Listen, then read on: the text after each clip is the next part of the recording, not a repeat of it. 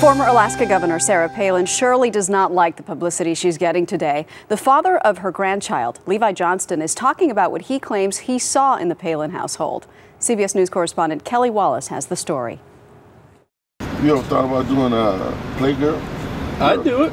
Get me in there. In the latest issue of Vanity Fair, 19 year old Levi Johnston doesn't take off his clothes, but he does take off the gloves.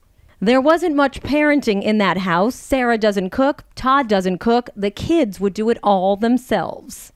They say the difference between a hockey mom and a pit bull lipstick.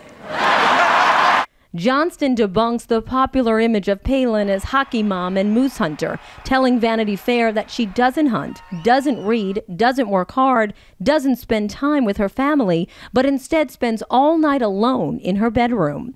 As for Sarah and Todd's marriage, Johnston says they constantly threatened each other with divorce.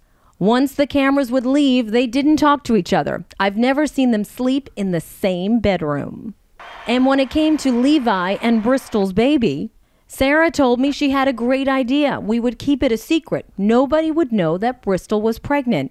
After Tripp was born, Sarah would pay more attention to our son than she would to her own baby Trig. I couldn't believe it when she would come over to us and sometimes say, playing around, No, I don't want the retarded baby. I want the other one, and pick up Tripp. Johnston spoke to the early show last April. And we're not cashing in on their name, you know. I'm just trying to get my side of the story out there. Kelly Wallace, CBS News, New York. And when we talked last April, Right. he made similar claims to me. And Sarah Palin said he's lying. He just wants publicity. He just wants his Right. little moment in the spotlight. So even though she hasn't responded to this, my guess would be she would probably say s- something along those lines. Because you've met him, you've interviewed Mm-hmm. him. Does he seem like seem credible to you? I, I, I don't know. How could I possibly answer that?